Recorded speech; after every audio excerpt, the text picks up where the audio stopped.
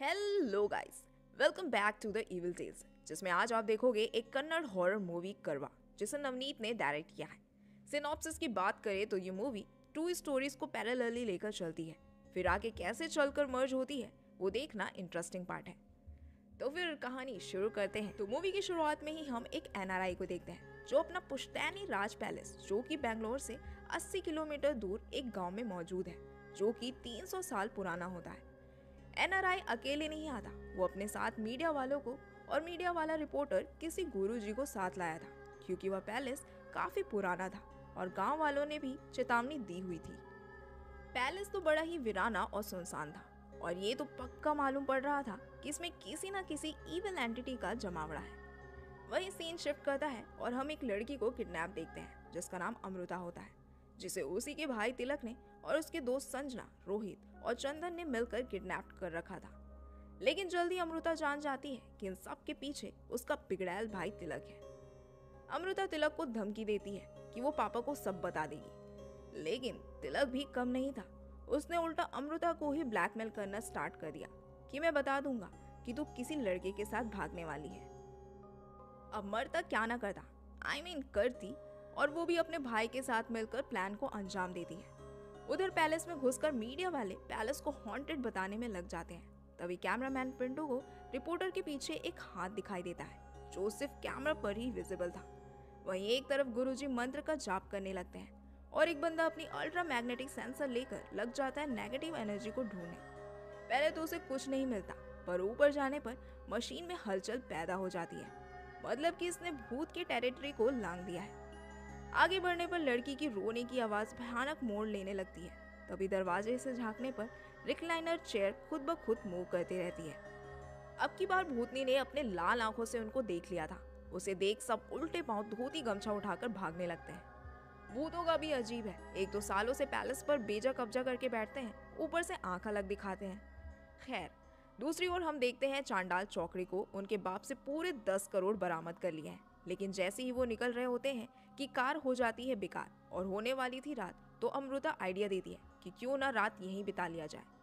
फिर सारे पैसे उठाकर राजमहल के पीछे से प्रवेश कर जाते हैं, जहाँ संजना को एक दरवाज़ा मिलता है, जिसके पीछे भूतनी की दुनिया हिल गई होती है।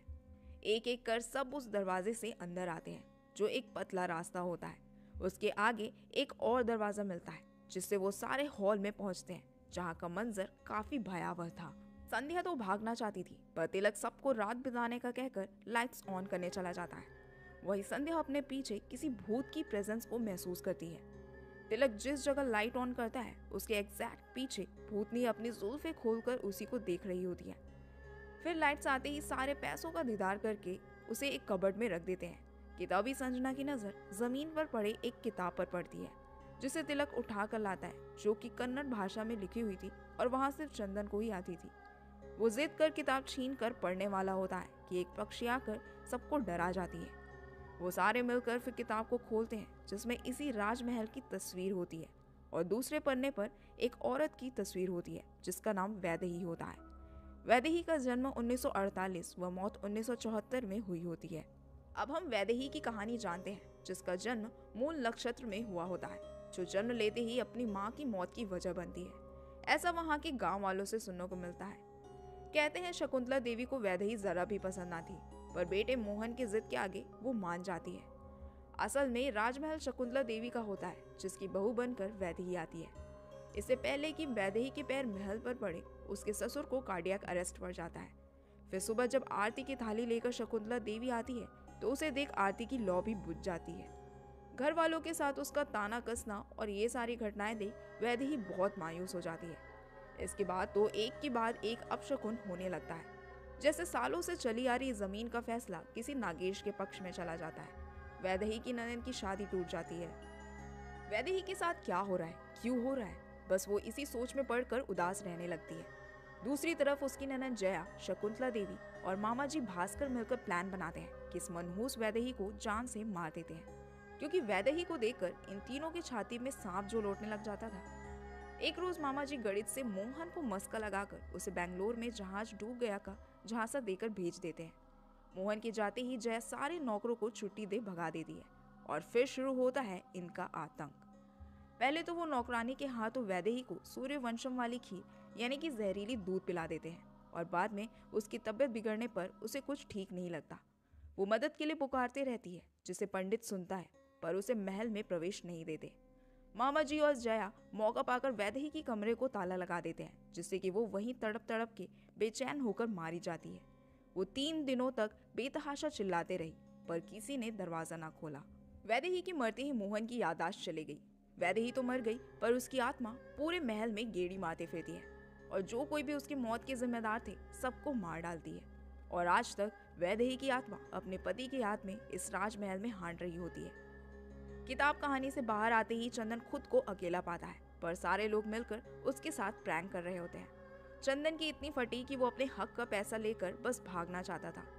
सब चंदन को समझा रहे होते हैं कि सब किससे कहानी है, तभी लाइट चली जाती है। तो रोहित लाइट ठीक करने जाता है, जहाँ उसे वैदेही की आत्मा दिख जाती है। जैसे ही वो लाइट बंद करता है वैदेही दिखती है, लेकिन लाइट ऑन करते वो गायब हो जाती है। फिर सब वैदेही को भूलकर उसी के महल में ठंडी ठंडी बियर खड़काने लगते हैं। चंदन सबका एंटरटेनमेंट कर रहा होता है। उसी बीच रोहित बाथरूम के लिए जाता है, जहाँ उसे अमृता की लाश दिखाई देती है। वो भागकर सबको ले आता है, जिसमें चंदन, संजना, तिलक थे, लेकिन अमृता नहीं।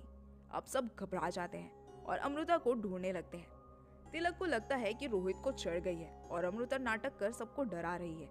फिर सब वही करते हैं जो नहीं करना चाहिए। वही सब चारों ओर फैल जाओ और अमृता को ढूंढो। अमृता को ढूंढते हुए सबकी हालत खराब हो रखी थी। उसी बीच तिलक के पीछे से आत्मा गुजरती है और संजना को भी एनाबेला की माँ मिल जाती है। थोड़ा आगे बढ़ने पर एक क्रीपी सा हाथ संजना को टच करता है। जैसे ही वो पलटती है, गायब। वो एक कमरे में जाती है, जहाँ पियानो ऑटोमेटिकली प्ले होने लगता है, जिसमें म्यूज़िक के साथ रोने की आवाज़ें भी आती हैं। संजना को फिर किसी ने टच किया। फिर वो पलटती है और इस बार उसका सामना अमृता के भूत से होता है। वो बेहोश होने ही वाली थी कि सब आकर उसे बचा लेते हैं। संजना को संभालते हुए तिलक उसे ले जाता है और चंदन और रोहित लापता अमृता की तलाश में जुट जाते हैं। बातों ही बातों में चंदन अलग होकर वैदेही के कमरे में प्रवेश कर जाता है, जहाँ पर उसका सामना वैदेही की आत्मा से होता है। वो गिरते पड़ते ये बातें सबको बताता है। अब तक ऑलमोस्ट सभी ने भूत दर्शन कर चुका है, सिवाय तिलक के। न चाहते हुए भी तिलक को यकीन करना पड़ता है, क्योंकि साक्षात वैद्य ही खुद अपना दर्शन करा देती है। उसे देख सब बाहर भागते हैं। पर बाहर आते ही अमृता हेल्प हेल्प की गुहार लगाने लगती है। फिर उसे बचाने सब अंदर चल देते हैं। आवाज़ का पीछा करते हुए अमृता तक पहुँच जाते हैं, जहाँ उसके हाथ बंधे थे। अमृता कहती है उसे किसी ने किडनैप कर रखा था। उसे बचाकर जब हॉल तक आते हैं तो रोहित को भूत ने ऑलमोस्ट मार ही दिया था। मरता हुआ रोहित सबको वॉर्न करता है कि अमृता पोजेस्ट है और वो मारा जाता है। अमृता, संजना तिलक बाहर की ओर भागते हैं और चंदन पैसे लेने को पैसे तो ऐसे मिलते हैं एक धमाके के साथ कि पूरे नोट छितर बितर हो जाते हैं और देखते ही देखते सारे पैसे जलने लग जाते हैं। पैसे जाए तो जाए, जान बचाने को सब जैसे ही बाहर भागते हैं, मेन डोर खुद ब खुद बंद हो जाता है।